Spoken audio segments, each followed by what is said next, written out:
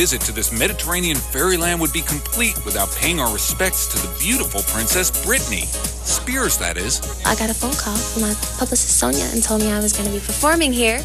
And I was totally freaked out because it's my first time to perform at our award show. So I'm so nervous. Although Britney is a top pop artist, like any other 17 year old, she has a hard time deciding what to wear.